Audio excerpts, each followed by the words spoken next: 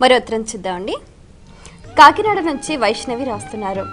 రథసప్తమి నాడు ఆదిత్యుణ్ణి ఏ విధంగా ఆరాధించాలి తెలియచేయగలరు అంటూ రాస్తున్నారు. నిజానికి రథసప్తమి అంటే సప్తమి నాటి కంటే పూర్వం షష్ఠి నాడే ఈ సంకల్పం చేయాలి. షష్ఠి రోజు ఈరోజు షష్ఠి తిథి రేపు రథసప్తమి అని సంకల్పం చేసి ఈరోజు రాత్రి అంటే షష్ఠి తిథి నాటి రాత్రి ఉపవాసం చేయాలి. సప్తమి సమయంలో సూర్యోదయానికంటే పూర్వమే లేచి స్నానం చేయాలి. కుర్యాత్ స్నానార్ఘ్యదానాభ్యాం ఆయు ఆరోగ్య సంపద అని కూడా భవిష్యోత్తర పురాణం చెప్తుంది. మాఘే మాసితే పక్షి అని చెప్పుకున్నాం కదా కుర్యాత్ ఏం చేయాలి? స్నాన అర్ఘ్య దానములు. ఈ మూడు చేస్తే ఏం కలుగుతాయి? ఆయువు ఆరోగ్యము సంపద ఈ మూడు కలుగుతాయి అని కూడా మనకు భవిష్యోత్తర పురాణంలో ధర్మరాజు గారికి కృష్ణ పరమాత్ముడు ఈ వృత్తాంతమంతా కూడా తెలియజేస్తాడు. ఈరోజు ఏం చేయాలి మనం? అంటే ముందుగా స్నానం చేయాలి. ఏం రోజు చేయట్లేదా? అది వేరు ఇది వేరు.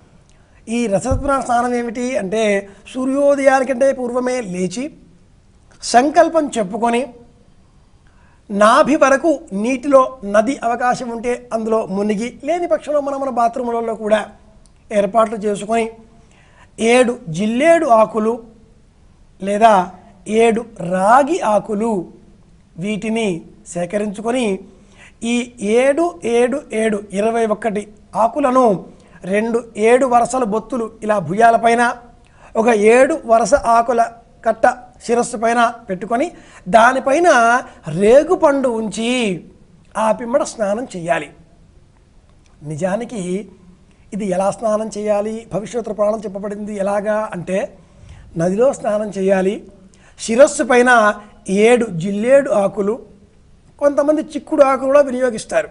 జిల్లేడు ఆకులే శ్రేష్టం.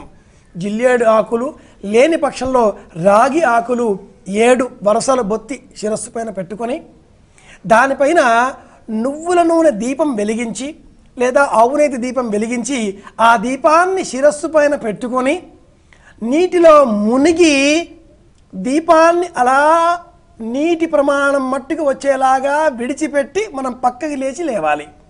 అప్పుడు ఆ ఆకుల బొత్తి దీపం నీటిపైన తేలుతాయి. మనం ఇలా మునిగి ఇలా పక్కకి వచ్చి మళ్ళీ శిరస్సుపైకి తీపుతాం ఇలా చేయాలి దీపాన్ని ఇలా వదలాలి నీటిలో. ఇది నిజంగా రథసప్తమి నాడు మనం స్నానం చేయవలసిన విధానం. నదుల్లో నీళ్ళు ఎక్కడండి మునిగేంత మట్టికి ఉన్నాయా? ప్రాజెక్టులు కట్టేసుకున్నాం కదా అనుకుంటే తెలుసుకున్నాం. దీపాన్ని వెలిగించి ఒడ్డునన్నా పెడదాం. నమస్కారం అన్నా చేద్దాం. చేయవలసినవి ఏమిటివి కుర్యాత్ స్నాన అంటే ఇలా. అర్ఘ్య చేతిలో నీళ్ళు తీసుకొని విడిచిపెట్టాలి. ఇదమర్ఘ్యం సమర్పయామి ఇదమర్ఘ్యం సమర్పయామి అంటూ పన్నెండు సార్లు సూర్యనారాయణమూర్తికి ప్రీతికరంగా అలా దోసిల్లో నీళ్ళు తీసుకొని విడిచిపెట్టాలి. మిత్ర రవి సూర్య భాను ఖగ పూష హిరణ్యగర్భ మరీచి ఆదిత్య సవిత్రు అర్క భాస్కర అనే పన్నెండు నామాలు చెప్పి మీకు వచ్చు కాబట్టి చెప్పేశారండి. మాకు రాకపోతే మేమేం చేయాలండి అంటే పన్నెండు సార్లు సూర్యాయ నమ ఇదమర్ఘ్యం సమర్పయామి సూర్యాయ నమ ఇదమర్ఘ్యం సమర్పయామి అంటూ పన్నెండు సార్లు నీళ్ళు విడిచిపెడదాం. ఇక మూడవది ఏంటి? కుర్యాత్ స్నాన అర్ఘ్య దానాని. ఇక్కడ మనం దశ దానాలు చేయాలి. కనీసంలో కనీసంగా రాగి చెంబులో గోధుమలు పోసి లేదా నువ్వులు పోసి ఆ నువ్వులు లేదా గోధుమలు పోసిన రాగి చెంబును దానంగా ఇవ్వాలి.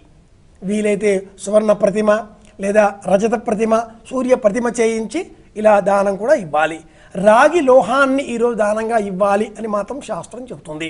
కుర్యాత్ స్నాన అర్ఘ్య దానాని ఇలా ఈ మూడు చేయాలి. ఇందువల్ల మనకు ఆయువు ఆరోగ్యము సంపద అనే మూడు కలుగుతాయి అని మనకు భవిష్యోత్తర పురాణం చెబుతుంది.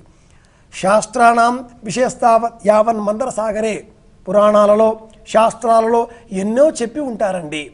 యావత్ తైలం తావద్ వ్యాఖ్యానం. తెలుసుకుందాం. వీలైనంత మట్టుకి ఆచరించే ప్రయత్నం చేద్దాం.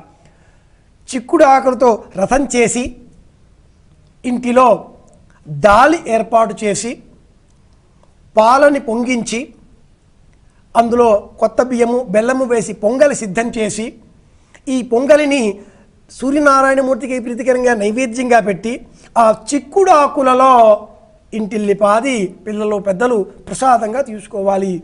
చిక్కుడు ఆకులతో రథాన్ని సిద్ధం చేసి స్వామివారు ఈ రథంలో ఉత్తర మార్గం వైపు ప్రయాణం చేస్తున్నారు అని ఆలోచన చేయాలి. వివేకాన్ని విజ్ఞానాన్ని పెంపొందింపజేసుకోవడమే ఉత్తర మార్గ ప్రయాణం. ఉత్తర మార్గం అంటే ఊర్ధ్వం వైపుగా ఆలోచన చేయడం.